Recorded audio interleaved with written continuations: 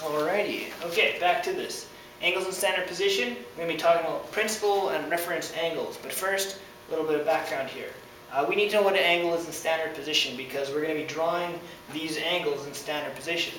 An angle is in standard position when the initial arm is on the positive x-axis and the vertex is 0, 0. Okay, what's this?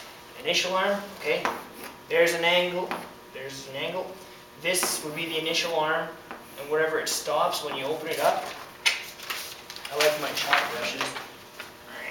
Whenever, wherever it stops when you open it up, this is the terminal arm. Okay? Initial arm, okay? Now, um, I was thinking, how do we remember terminal arm? Think like terminal cancer, grain terminal, but terminal arm, think of it like this. It terminates the angle. When you stop here, the growth of the angle is terminated, terminated up, okay? So here's an angle, initial arm opens up, it stops, that's the terminal arm. It says when the initial arm is on the positive x-axis, so here's our xy, when it's on positive x-axis, and um, positive, okay, so it's not on this side, it's the negative side, and the vertex is 0, 0, which means it hinges there, um, that means it's in standard position, okay? So here we'll have, let's design some angle, okay? There we have an angle. Here is our initial arm, here is our terminal arm. Uh, it is where the angle terminates, okay? If we were to draw a circle around here somewhere, the terminal arm will always have a point on it where it's going to cross the circle somewhere, okay? Right here, okay? P, point x, y. This is going to, um, any terminal angle will always have a point P that crosses the circle, okay? So just remember that for now. Okay, so you can, uh, now that we have uh, an angle in standard position on our Cartesian plane, okay, uh, you can rotate an angle counterclockwise or clockwise. What you need to remember is, if you're rotating an, a, a, an angle counterclockwise, for example, moving up like this, that's considered a positive angle, okay? Counterclockwise, that's positive angle. And then obviously, going the opposite direction like this way, if we went down to there, that would be a negative angle, okay? Clockwise, negative, okay? So um, maybe you want to just think of it like this. You move up, up is positive, down is negative, okay? Counterclockwise will go up, clockwise will go down, okay? Um, you can rotate an angle any uh, which way like that. However, one thing that you should realize that uh, you can get the same looking picture by using a positive or negative angle. For example, if I said, how do you, uh, if this was 10 degrees here, I could say, well, this is, uh, this picture is drawn by a positive 10 degrees, but it's also drawn by going negative 350 degrees because there's 360 degrees in a circle, of course.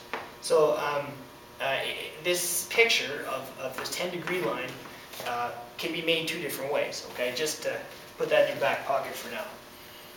All right, so now that we have that sort of thing, counterclockwise and clockwise and all that stuff, we're going to talk about the principal and reference angles. We got our, our backup stuff, now we're going to talk about the super important stuff. Get rid of that principal angle, okay? Principal angle. Principal angle, okay? Always measured in counterclockwise, okay? Therefore, it's always positive, okay? We'll just say stop, okay? Three, two, one, stop. Okay? This angle, here is our first, here's our vertex. Here is our initial arm. Here is our terminal arm. Okay, this is our terminal arm. Here is point P, where this uh, line crosses the circle. So I'm actually going to draw the circle right around this spot, okay? Okay, so there's point P where the terminal line crosses the circle. The principal angle is this angular measurement from the initial arm to the uh, co-terminal, or sorry, to the terminal arm, okay? Now, there's something called the reference angle. the reference angle is the closest distance to measure to the x-axis, okay? Reference angle,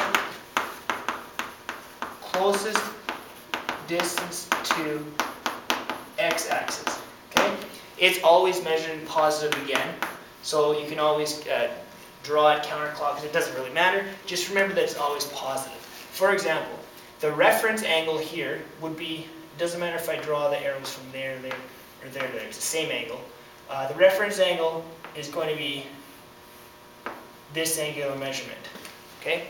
The principal angle was from there to there.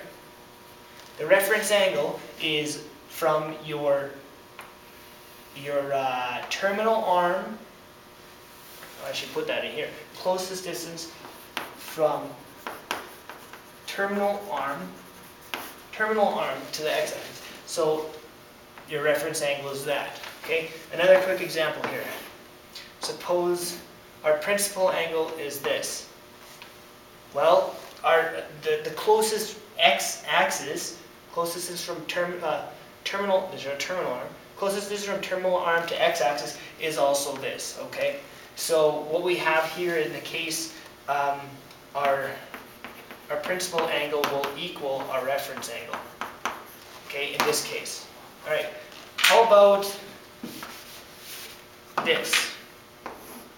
Um, this, okay? This is our terminal arm. Okay, so here, here's our initial arm, and this is our terminal arm. Our principal angle is this. a reference angle, well, the, the closest x-axis is right here, so it's measured positive, so um, this angle here, let's, I'll, I'll, give you an example here. Suppose that um, from here to here is 30 degrees, and from here to here is 60 degrees, okay?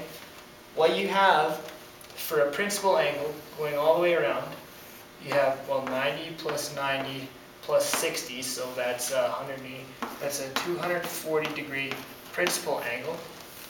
But your reference angle is right here. It's right to the x-axis, 60 degrees. From the x-axis to the terminal angle. Reference angle, uh, 60 degree reference angle. Okay. Um, why don't we try the last quadrant since we're just on fire for this right now. Oh yeah. Okay. So suppose that there's your terminal angle, okay, or your, so here's your initial arm, your terminal arm, your terminal angle is this whole thing. Let's call it, uh, not, not terminal angle, your principal angle. Let's say your principal angle is uh, 350 degrees. Well, your, your uh, what's the, the reference angle would be the closest distance from the terminal arm to the x-axis, which is a difference of only 10 degrees. Reference angle is 10 degrees in this case. Okay, I think you get the point. I'll cut it right now. Ask me if you got questions.